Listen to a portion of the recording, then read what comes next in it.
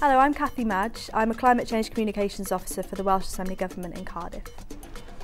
My job is essentially communicating what the Assembly Government is doing on climate change to the people of Wales and also telling people how they can get involved and how they can reduce their carbon footprints.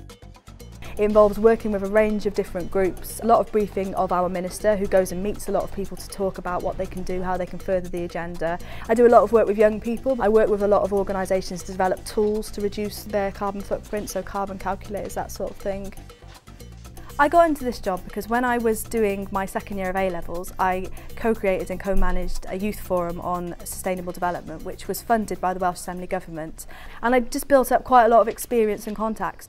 Really randomly, one day I got a phone call saying, oh, we've got a vacancy for three months. Would you like to move to Cardiff and take it?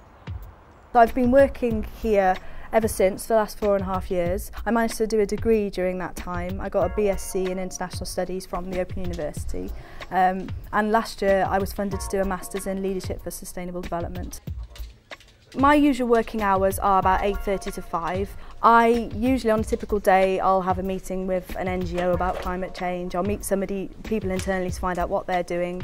I'll spend an awful lot of time at my desk emailing people and doing briefings. Um, I manage a group of young people called the Climate Change Champions, so I'll quite often be on the phone to them to try and work out what they're doing and what we want them to do. Um, then just things like team meetings as well take up quite a lot of time. I feel really strongly that in the climate change slash sustainability business, there's loads of people working from the outside, but there's not enough good people who are passionate and educated about sustainability and climate change on the inside.